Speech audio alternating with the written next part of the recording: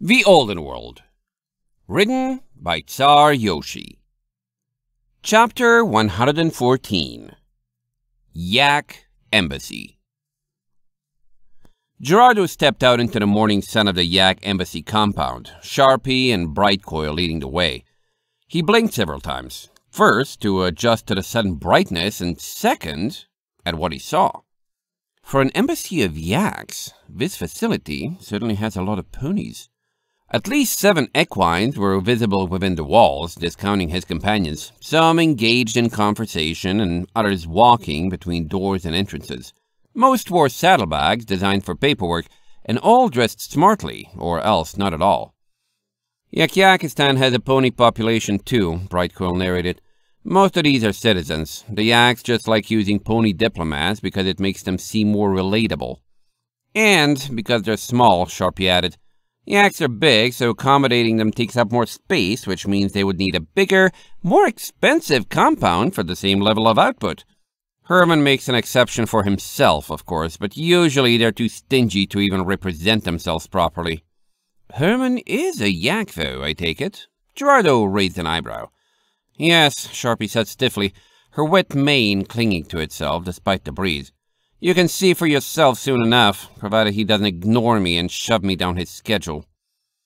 They entered a doorway at the rear of the compound, backed by a wall that was carved into the mountain. After a short tunnel, while the ground rose overhead, the ceiling opened up as well.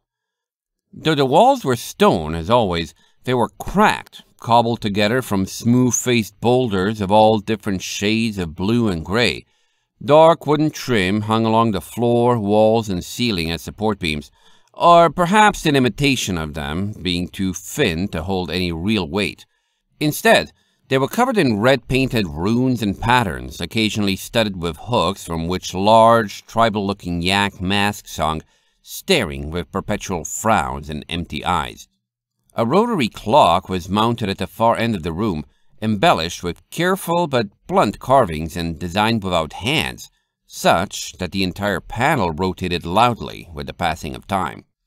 Hi, a candy-colored mare behind a low desk droned in an extremely thick accent. What make ponies come by Yak headquarters this day? Sharpie hissed through her teeth. Spare me, Maya. My job stinks enough already without having to parse you. Maya looked up, lidding her eyes and dropping the accent. What, so I shouldn't be able to do mine either? I get paid too, you know. Now, are you going to tell me what you want or what? The Griffin needs to meet with Herman, Sharpie quickly commanded. He has something important to discuss regarding the defense force. Hmm, hmm.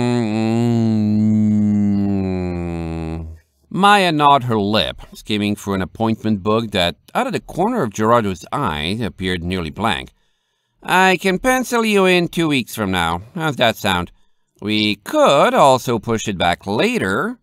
Deciding it was better to interrupt early than let the situation continue in its present direction, Gerardo raised a talon.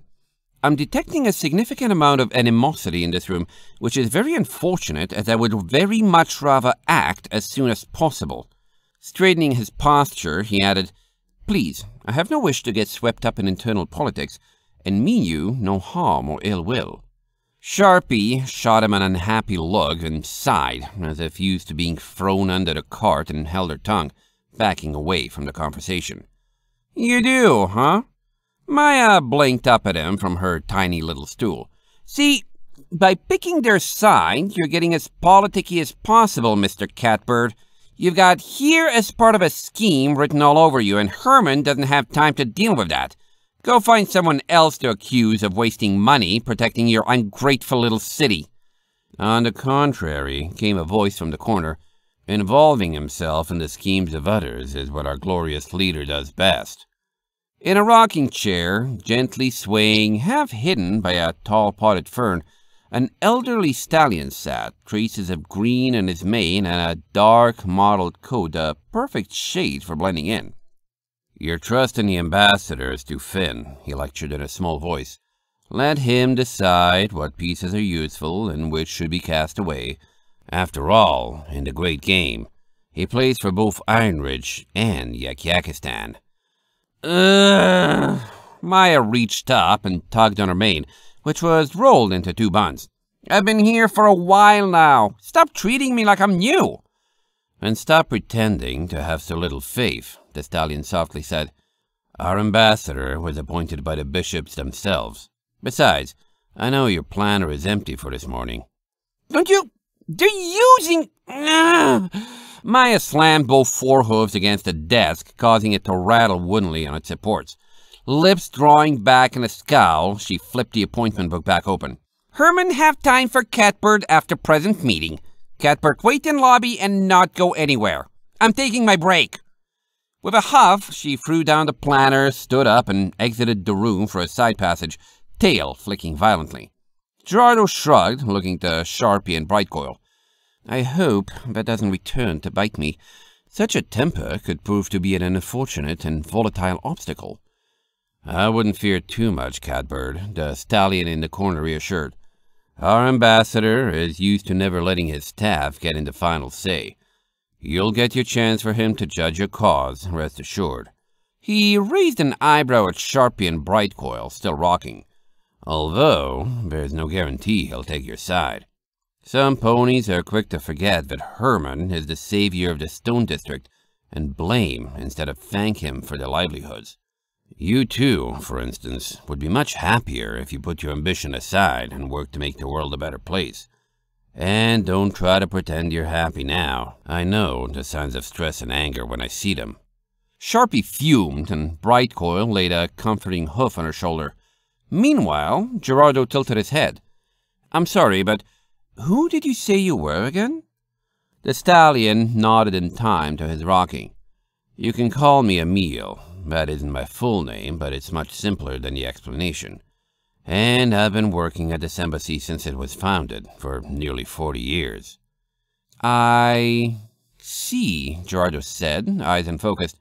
I did spend some time in Yakyakistan, but can't say I have a particular memory of the workings of their naming conventions.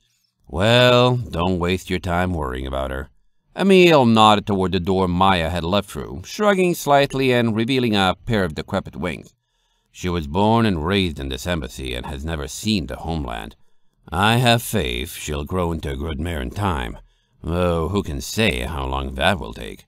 She never has taken her virtues seriously. Forgive me if this lacks tact, but my memory of Yakyakistan consists entirely of rock and ice, Gerardo remarked. I have been considering returning there some day, however. When you speak of that way, what places do you recommend I not miss out on? You're asking the wrong Pegasus, Emil wheezed sadly. I've been here since this embassy's modern inception, which was just after the war. There have been so many progressions and revolutions since then, I imagine even if I went back, I wouldn't recognize a thing. Who knows what the Yakyakistan of today looks? His ears twitched. Oh? A door in the far wall clicked, its lock being undone. That's the ambassador, Emil announced. Whatever you want with him, I hope it benefits both of our nations. That would be most beneficial, yes, Gerardo said, striding toward the door. I... The door swung open, and Gerardo's face fell like a fruit smashed against the ceiling when he saw the ugly mane style waiting behind. Oh, hey, bird bro, how grin, beaming, acting for all the world as if he hadn't been ditched miles away less than eight hours earlier. Fancy meeting you here. Uh, I would really rather not deal with this right now, Gerardo softly remarked to no one in particular looking as if he had been robbed thrice in one day. How, whatever your business here, I. Whoa! Whoa! Whoa! How held a hoof out, confidently interrupting. Look, bud, you feel that we got some bad blood, and I get that. I mean, I might have oversold myself back with those guards just a little, but hey, a guy's allowed to make mistakes, right? He raised a challenging eyebrow. It ain't like you didn't leave me in a pickle yourself, you know. Or, I don't know, just wandered off without saying a word to your poor pal. Look, I like you, Brother Bird, but it's almost like you don't want the Howanator around. That is the point, How, Gerardo sighed.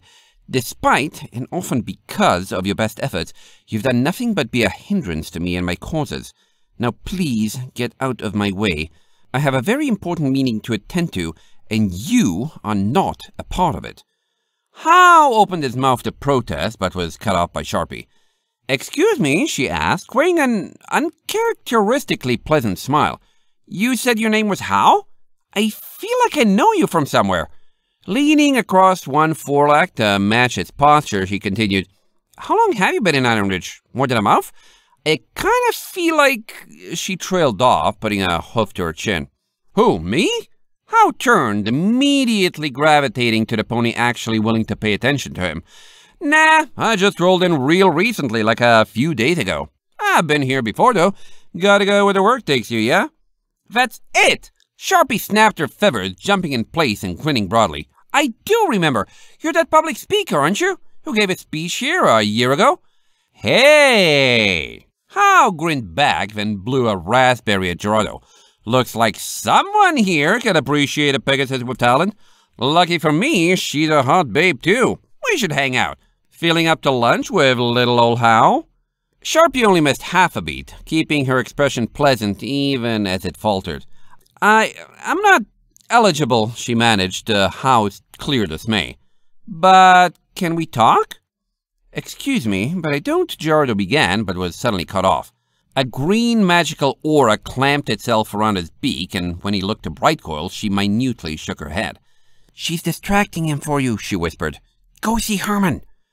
Pausing only slightly to marvel at Sharpie's ability to repress her general bitterness in the name of furthering their mission, Gerardo nodded, slipping through the door and into the corridor beyond. End of chapter 114.